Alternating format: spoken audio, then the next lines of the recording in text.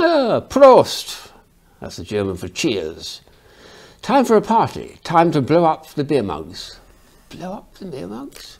Well, yes, yes, I'm afraid, is a inflatable beer tankard or stein. Extraordinary idea. It's got the Bavarian flag on it, so obviously it's used for perhaps the um, Munich Beer Festival, a famous one. And it's, when it's complete, it's quite a really quite a nice mug. Holds a good gallon, well, half a gallon, I don't know, of beer, and then you can drink away to your heart's content. Pack it up at the end and put it in your pocket and go home. What a lovely concept. So I started looking through my collection at a, another lot of extraordinary drinking vessels, and here's some of that to show. Some of are most inventive ideas too, quite extraordinary. I think one of the most sophisticated I've ever come across is this one made by a friend of mine, James Dalgety, playing with mirrors and mirrors in mugs. So it's got a message up here saying mirrors reverse images, as you know, and there's a mirror underneath there to reverse the image. Mirrors reverse image, and it's all in normal forward writing as well. Now, when I turn it upside down, no, round to the back, I'm now looking at the words at the bottom, but not words in mugs, and it appears quite normal in forward writing, not reverse writing. the odd thing is, when you turn the thing back again and look into the mirror, which is a little bit of platinum luster, a very interesting effect, you see the words appearing forward in the normal way. Why haven't they reversed?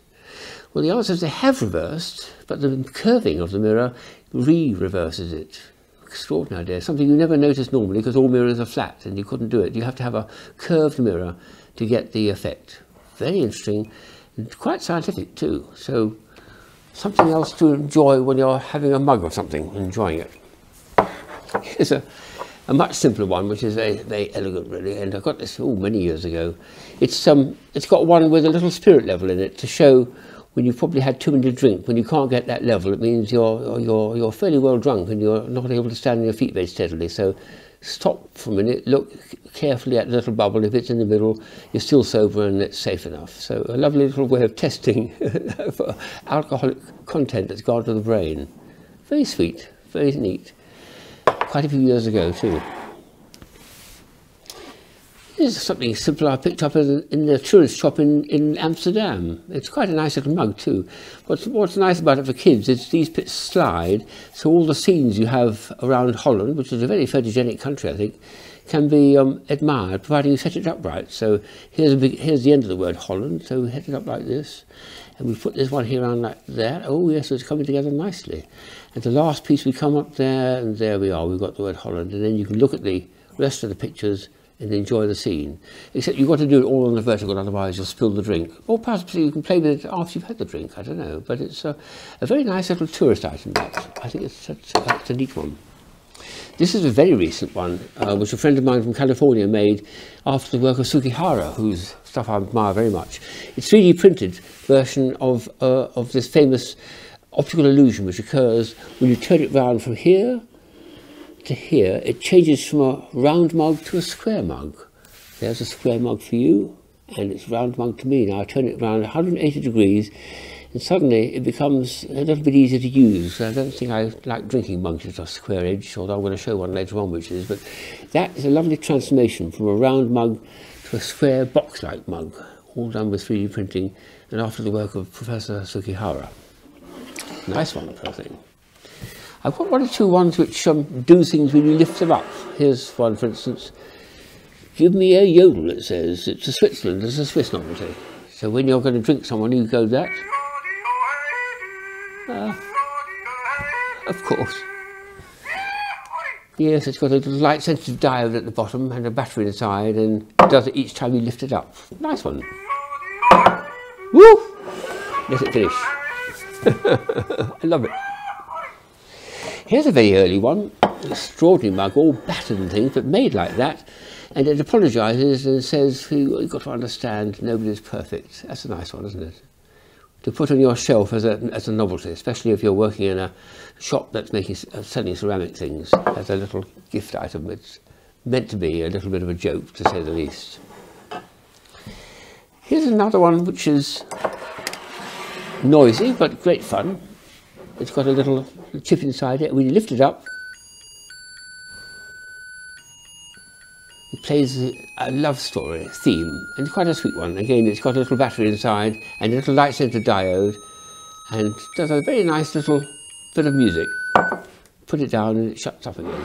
So there's plenty of those around. This is something I've never used, but sometime I've got to try it out, I suppose. It's a slush Of making slush, slush mugs. You have to put that in the fridge and this special liquid here gets very, very cold. When you put the drink you want to drink in, into it, it chills it quite, really quite strongly. And you need to have it in a thing like this, otherwise your hand's going to get cold and you lift it up. But when it's been left there for a few minutes and perhaps stirred, it'll be a nice chilled drink or whatever it is you, you wanted to drink in it. So a slush mug all made out and ready for the customer to use. Nice, nice concept there. This is something Long Train and Broxton made back in the 1980s. The mine had dried out actually, but I had great fun refilling it with some with some water. And it's just it's got a liquid it's got a liquid um, jacket around it, two layers, and these little things float in it, which is very sweet. When it dried out, I drilled a little hole there and got a hypodermic syringe and filled it up again, and it's just about re-established with a few bubbles, never mind those. But it's nice to have a party drink which does something a little bit active when you're actually holding it like that, because those things will float around. And very pretty as well, too. I think Long Crane do have done some very nice stuff in the past, and still do for that matter. Here's a wonderful, famous film star or picture that I've read all the books and everything else. It's what's nice about this is lenticular, when I hold it vertically and turn it round and round, you get all the effects of the various characters in this story appearing and disappearing and transforming. So this is quite unusual for me because it's a lenticular effect, but it's on a curved cylindrical surface, tapering cylindrical, making it even more advanced. But nice lenticulation when you move it back and forward. And for kids who are drinking and enjoying this and are great fans of these books, I think that makes a very, very nice gift for them. Hmm. Here's something which is quite fun. It's a it's a it's a, it's a, it's a, it's a metal mug, and you've got little magnetic uh, magnetic alphabet on it. I managed to get our company into Grand Illusions, but these pieces all slide around, and just you just set them up and make a little message to appear there, and drink and enjoy it. So the kids can have great fun making up messages with this as an idea. It's it's very sweet that, and, and it, it works very well. It, it looks elegant when it's finished, I think. Another slightly crazy one, because this, when I first saw it, I thought it was a, a, an ordinary plastic mug which had been a bit battered by someone squeezing it.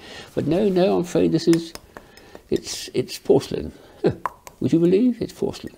It's been specially made to make it look a little bit like a battered one. Yes, I do like things which are apparently something else. This is a very nice idea because it's um, a sliding block puzzle which kids can enjoy. They can move these pieces round up and down you slide up and down, you can get really bottled up and then spend some time solving it. It's probably best to finish the drink first, and then you can lay it down and get busy and try and solve the old 15 puzzle, they used to call it. But the whole thing get completely bottled up, and you've got to get back to that nice picture at the end when, it, when, it's, uh, when it's finished. Nice one, that. Here's a very unusual one, Swedish shot glasses. These, would you believe, are made of jelly. Look at it squeezes, it moves. Extraordinary. Made of a thick, thick jelly. You put the fluid into it, drink the contents, and then you can eat the vessel. What about that? We did sell this in the very early days of Grand Illusions when we first opened the shop. I managed to get some. We sold them with different flavours to them as well. I don't think I ever used one, I have to say, but there we are. There's two different, slightly different colours and they're the last ones left. And since the jellies are about 30 years old, 20 years old, well, I'm not sure I'd use them now, but they're fun to look at and to keep and remember early days. And there's a lovely anamorphic one here. This is a beer mat with a rather odd message on it, which is not easy to read. well, the reason is it's anamorphic writing, and you have to have what's called a cylindrical anamorphic uh, surface to, to, read it. This is a, a, a nice glass. It's got a nice bit of reflective material place it on there, and now in the reflection you can read the word cheers. Yes, quite right too. Cheers it is. Good idea for reflections.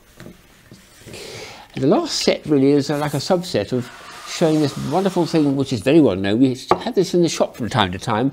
It's called the um, ooh, the greedy cup for the not too much cup for the all, all sorts of funny names for this one. This is the one from Samos, I think, in Greece, where it um, displays a little trick on the person who asks for too much liquid in it. Let me just show you what it does first, because these are all the same idea, but some of them are made of very different materials. And the last one I'll show shows exactly what's going on, which is very nice. So this is the first one. The point is, if I put a little bit of wine in there, well, it's not actually wine, it's a... No, it's okay. I can drink. Yes, it's actually blackcurrant juice. That's very nice.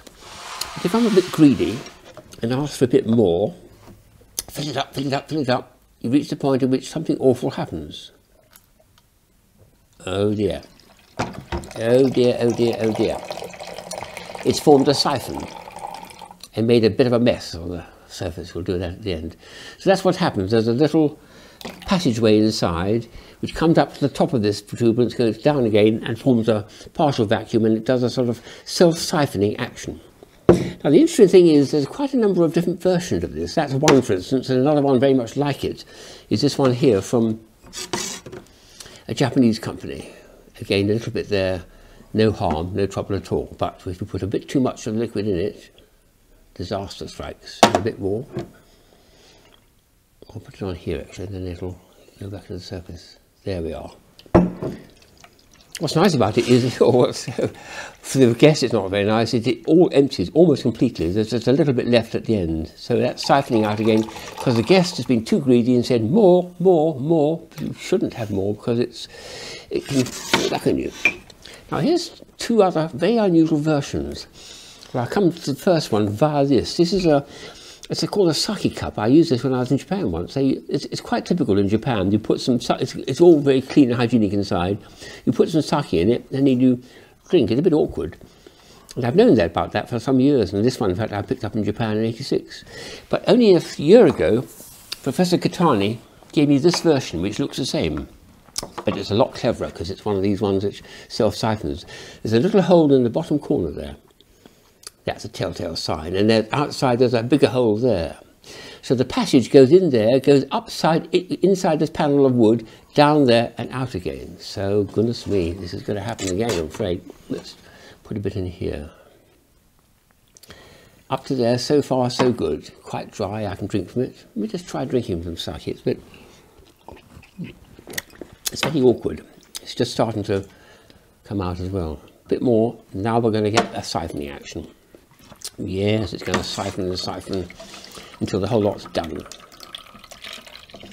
So to do it on a wooden vessel like that is very, very unusual. Now the last one I'm going to show is in clear glass so you can see exactly how the siphon is working. I'll cut that off and hurry it up a bit. So those are all the same idea. And here is the Denimore, the one I really like, because this shows exactly what's going on. You can see what's happening here. There's a little hole at the bottom where the liquid can rise up there, come out here, around there and spill out. And it has to form, the liquid has to reach that height there. If you stop there, it's fine. There's fine, but just above it, it starts forming a siphon. Well, you'll see the effect when I pour some of this in here. And just for a bit of fun, I'll make a good mess on the table too. So a little bit of this is fine, yes. I'll have a quick drink. Cheers. Mm. More, more. I want more more, more, more, more, and some more, and oh dear. Yes, I'm afraid so. All over the host's table. What about that? How nasty for them. So it's pouring around the side, and you'll see it. It's rising up that tube now against gravity, but it's being pushed. The atmosphere is pushing it down because there's a partial vacuum all the way around here, which is pulling up more liquid. And to the great consternation of the guest and the horror-struck reaction of the host is making an awful mess on their table. Goodness me. The tricks people play to unsuspecting guests. That's a particularly clever one because it's, it's still relatively unknown. And you see it's going to go on to the very end. There's nothing to stop it. Well, you could put your finger over, I suppose, or tip it over, or gulp the contents down very quickly. So lots and lots of ingenuity, particularly in this vessel. I love the different varieties of it. And there's so many people um, getting this stuff. I feel like, like starting a society for mug collectors like myself. Are you a mug collector? You should try. Have a look.